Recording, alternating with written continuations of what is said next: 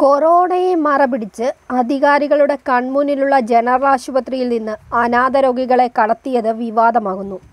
General ആശുപത്രികൾ Covid ആശുപത്രികളാക്കുന്നതിന്റെ ഭാഗമായാണ് ഈ സംഭവം അരങ്ങേറിയത്.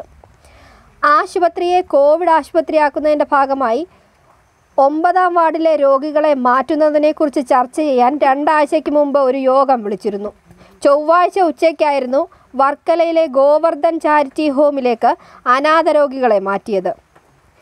പതിനാല് പേരെയും ട്രസ്റ്റിന്റെ വാഹനത്തിലാണ് അവിടേക്ക് എത്തിച്ചത്. ഇക്കാര്യം ട്രസ്റ്റിന്റെ ഫേസ്ബുക്കിൽ വന്നു. ഇതോടെ സംഭവം വിവാദമായി.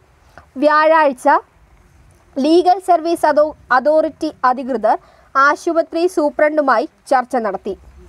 അതോറിറ്റി അധികൃതരുടെ ചോദ്യത്തിന് മുൻപിൽ സൂപ്രണ്ടിന് ഉത്തരം മുട്ടി നിയമവിരുദ്ധമായ പ്രവൃത്തി എന്തടിസ്ഥാനത്തിൽ ചെയ്തു എന്ന ചോദ്യത്തിന് ഉത്തരം പറഞ്ഞില്ല എന്നു മാത്രമല്ല ബോധരഹിതരാകുകയും ചെയ്തു. അതോറിറ്റി അധികൃതർ ഇടപെട്ടതോടെ സംഭവം വഷളായി. ഇതു മനസ്സിലാക്കിയ ഉടനെ ജനറൽ ആശുപത്രിയിൽ നിന്നും മാറ്റിയ രോഗികളെ തിരിച്ചെത്തിക്കുകയായിരുന്നു. തിരികെ എത്തിച്ചവരിൽ ഒരാൾ മരിച്ചു. ഇതും സംഭവത്തിന്റെ ദുരൂഹത വർദ്ധിപ്പിക്കുന്നു.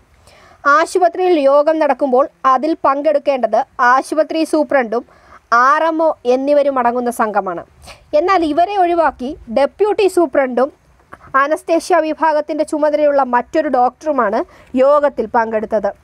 ജില്ലാ മെഡിക്കൽ ഓഫീസറുടെ യോഗത്തിൽ പങ്കെടുത്ത ഡെപ്യൂട്ടി സൂപ്രണ്ടും അനസ്തേഷ്യ ഡോക്ടറും പറഞ്ഞതനുസരിച്ചാണ് സൂപ്രണ്ട് പ്രവർത്തിച്ചത് എന്നാണ് ഇപ്പോൾ പുറത്തുവരുന്ന വിവരം.